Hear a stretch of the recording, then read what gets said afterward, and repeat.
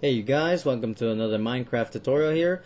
Um, I'm going to show you guys another circuit called an RS NOR latch. Now this circuit is uh, useful and I'm going to implement it in our next video on iron doors. But let's go ahead and start this out by placing a block of dirt here. And you're going to need some torches. So we're going to place one torch here. And then we're just going to go diagonal from it, leave a space, another uh, block of dirt, and another torch down.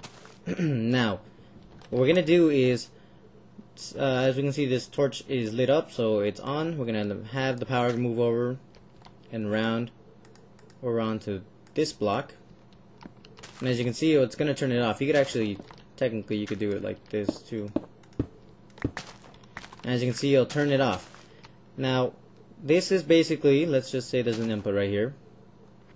Mm, this is on my server so all this stuff I have is just because of me messing around. Anyways say we have an input here. We can press the button and we know that this will turn on, which causes this one to turn off, and this one to turn back on. So let's just demonstrate. Oops. And it turns on, and then turns back off. Now what we want to do, so basically right here what we have done is just a simple traditional repeater. Now, if we extend the circuit to turn this one off, so when we get the input here, it's going to turn that off, turn this one back on, and since this is going to be on, it's going to turn that one off, and this one will remain on, as you can see here by this demonstration.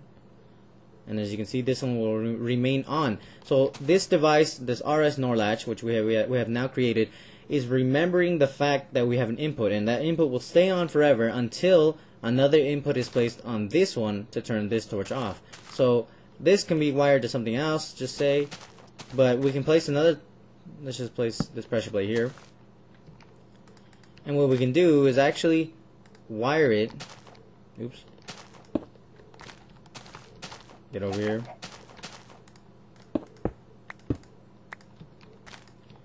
What we can do is now actually place, let's just say I activate it.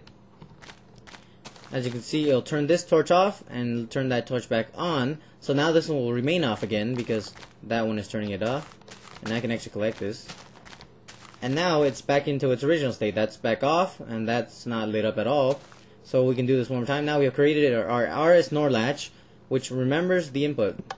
As you can see, it rem remembers the input until another input is placed on this torch. We can do this here. And then it turns it back off, and it resets itself. Basically, this is resetting the RS NOR latch, and uh, it's useful in doing the double iron doors that's going to come up in my tutorial on Wednesday.